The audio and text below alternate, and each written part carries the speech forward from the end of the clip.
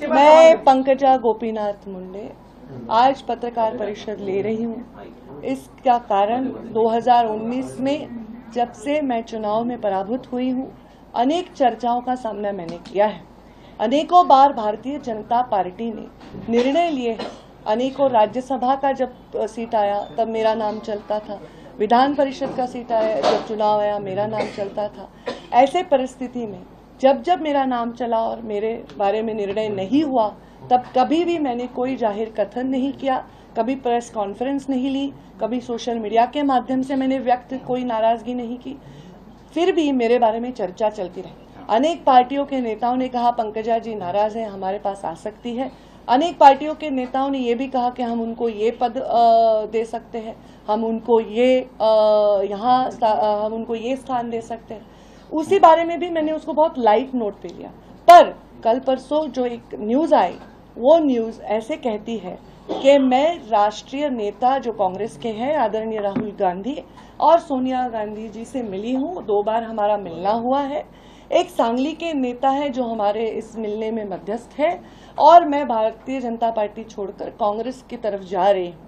ये जो न्यूज़ आई है, ये न्यूज़ सरासर झूठ है। ये न्यूज़ नहीं, मैं ये आपको शपथ पूर्व ईश्वर साक्ष्य कह सकती हूँ, क्योंकि आजकल शपथ पूर्व ईश्वर साक्ष हर कोई शपथ लेता है, पर वो उससे कितना प्रामाणिकता से उससे जुड़ा हुआ है मैं नहीं जानती। पर मैं आज सब ये सबके सामने कहती हूँ, कोई भी पार्टी के कोई भी नेता से, मेरे पार्टी के प्रवेश के बारे में, मेरी कभी भी कोई भी बात नहीं हुई राहुल गांधी जी को तो मैंने प्रत्यक्ष रूप में कभी देखा तक नहीं। सोनिया गांधी जी को मैंने कभी देखा तक नहीं। ऐसा भी कभी नहीं हुआ है कि वो एक शहर में है और मैं शहर में जब ये न्यूज़ आई, उस समय मैं अपने मध्य प्रदेश के भारतीय जनता पार्टी के कार्यक्रमों में अपने कार्यकर्ताओं के साथ थी। और ये न्यूज़ जब आई तब मुझे इस बारे में बहुत पीड़ा हुई, क्योंकि आज तक ऐसी न्यूज़ आती थी कि इनका ऑफ़र है इनका ऑफ़र है, मैं उसको लाइट नोट पे लेती थी। पर ये जो न्यूज़ है, ये कहती है कि उनके पास ये मालूम है, उनके पास ऐसे सूत्र कहते हैं और एक क्वेश्चन मार्क डाल दिया कि क्वेश्चन मार्क डालने से लीगल सब सही हो गया। मैं इस चैनल पर मान हानि का दावा ठोकने वाली हूँ, क्योंकि मेरा करियर कौड़ी मोल नहीं है। लाखों लोग मुझसे जुड़े हुए हैं, उनके भवितव्य मुझसे जुड़े हुए हैं।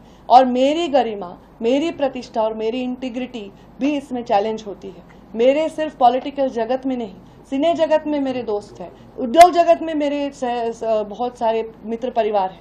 आज वो सब मुझे ये सवाल पूछ रहे हैं। इतना ही नहीं, मेरा बेटा कहता है, मम्मा, ये न्यूज़ आ गया, ये सही नहीं है, पर ऐसा न्यूज़ कैसे आ गया? ये मेरे पर्सनैलिटी पर उठा हुआ सवाल है, और ये कौन कर रहा है? इस देश के गृह मंत्री है अमित शाह, प्रधानमंत्री नरेंद्र मोदी है। मेरा जैसा सूक्ष्म पार्टी का जीव, अगर ऐसी कोई मुलाकात करता है या किसी को मिलता है तो क्या उनको पता नहीं होगा? क्या मेरे फ़ोन में, मैं किससे बात करती हूँ, क्या उनको पता नहीं होगा? मुझे लगता है मेरे जैसे सरल, स्पष्ट और पार्टी से प्रामाणिक नेता के गरिमा पर यह उठा हुआ प्रश्न चिन्ह है। हाँ बहुत बार ऐसा